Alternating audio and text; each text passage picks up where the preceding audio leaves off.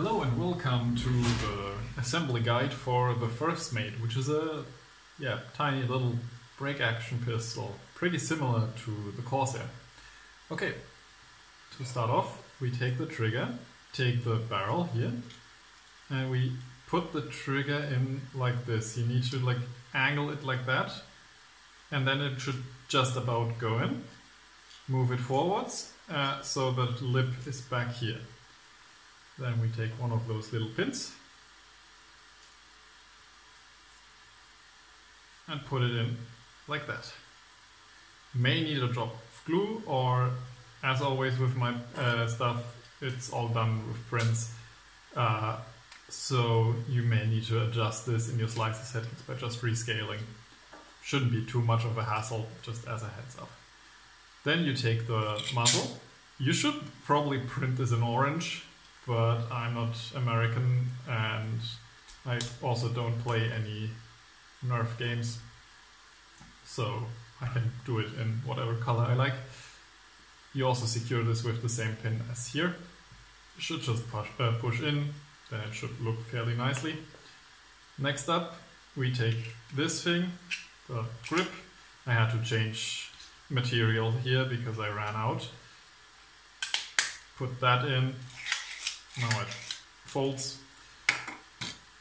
Okay, next up we take one side of this. Um, I usually do it with the left side, the left, like the side with the pin here goes inwards. Then you take the pin like this, the one with the little end stop, put it through.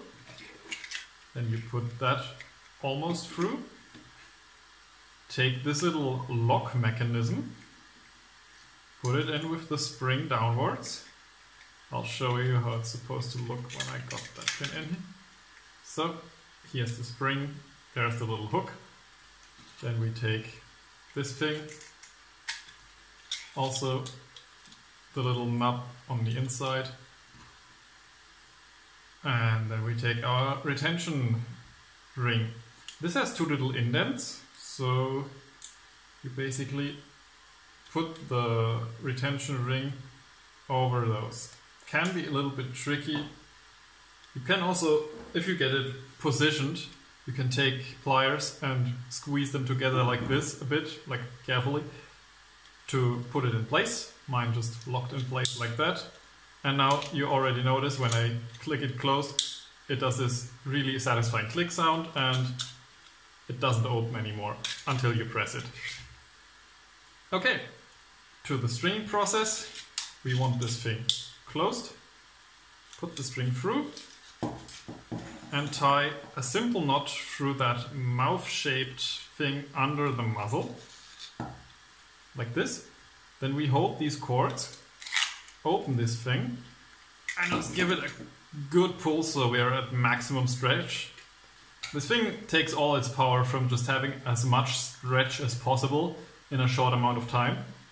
So we want that as tight as possible while it's back down there. Then we close it by just tying it up. I just noticed I forgot to bring darts. But we'll see if it works without darts as well. Then we just take a lighter, cinch the ends, shoop de whoop. That works. So let's see if I can find some darts. Be right back. Open it up, throw in a dart, works. Very nice. Will be up on my Etsy store, probably. If not, it'll be on my printables, but I'll probably put it on Etsy. Right, thank you for watching.